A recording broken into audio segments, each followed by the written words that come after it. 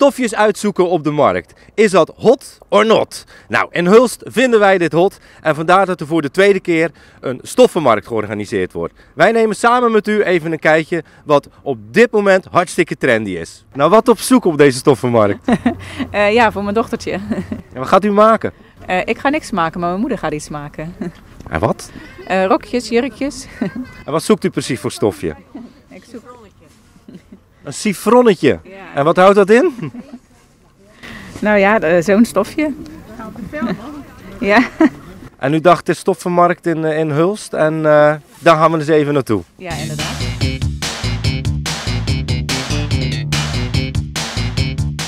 Ja, niet alleen stofjes uh, kun je verkrijgen op, op deze markt, ook fornituren van, ik geloof, uh, kippenveertjes uh, tot aan knoopjes of bandjes, noem het maar op. Er hangt een beetje misschien, ja, ik moet een beetje zeggen, stoffig imago rond, rond ja, lapje stof zoeken, een beetje naai achter de geraniums. Ja. Maar dat is, dat is gewoon niet meer zo. Als je nou een beetje naar de, naar de beurzen van tegenwoordig kijkt, dan zie je het publiek gewoon verjongen.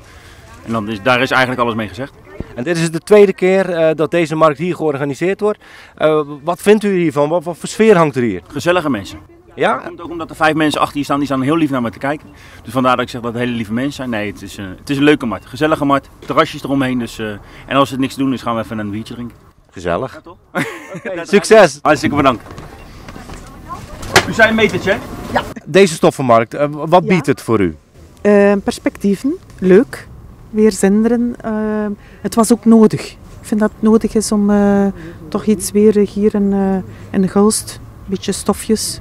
Ja, het is de tweede keer dat nu georganiseerd wordt. En, uh, al meerdere keren hoor.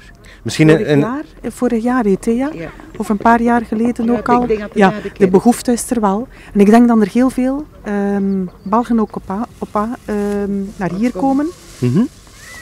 Maar ik woon hier wel. Ik, klinkt wel Vlaams, maar ik woon hier uh, wel in uh, Zeeuws-Vlaanderen. Maar het is, echt, het is echt gewoon nodig? Nodig? Um, ja. ja. ja.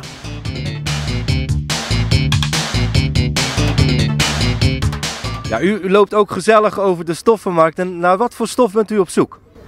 En voor de zomer jurk, heel zachte, dunne. En, en wat, wat is belangrijk aan een stof? Waar moet een stof aan voldoen? Hij moet ademen, dus ik moet niet zweten in de jurk. En het moet een fatsoenlijk zijn. En u komt hier uit de buurt? Ja, ik woon hier in de Hulst. En u dacht, de stoffenmarkt, daar gaan we naartoe? Ja, altijd. Ja, ik zie hier toch wel hele leuke, trendy stofjes. Ja, dat klopt. Ja. Dit zijn de nieuwste panelen, ja. Wat tegenwoordig helemaal hot is. Uh, en wat doe je daarmee? Uh, hier kun je een shirt van maken, een t-shirt, een jurkje. En voordat je daar de schaar in zet, wat moet je, dan, wat moet je voorbereid hebben? Uh, eerst een goede naailes gevolgd hebben, spulletjes klaar en een patroontje natuurlijk en een goed idee. En dan, ja, toch echt wel naailes volgen?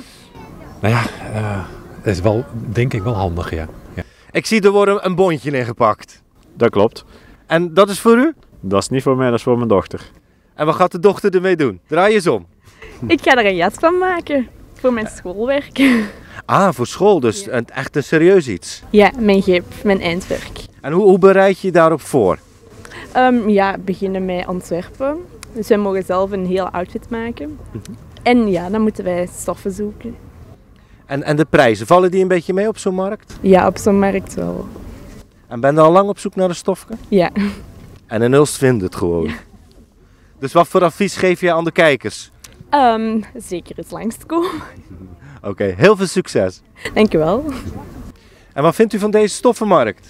Ja, leuk. Dan kan je de stof eventjes zien. Dan kijk ik ook altijd wel veel op internet, maar dat is toch altijd lastig om dan ja, er een echt goed beeld van te hebben. En hier kan je gewoon eventjes voelen en kijken en uh, een idee opdoen. Ja, stofje moet je echt voelen. Kan je niet op ja. internet bestellen, vindt u? Ja, sommige stofjes wel, maar ook weer niet allemaal. En wat voor stofjes vind je dan wel op het internet?